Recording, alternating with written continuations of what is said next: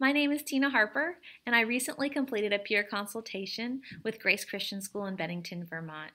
It was rewarding to witness the passion for students, to acknowledge the capacity and talents of the school leaders and faculty, and to help them develop a pathway forward towards growth by using the gifts that exist at their school in concert with the tools of backward curriculum design and project based learning.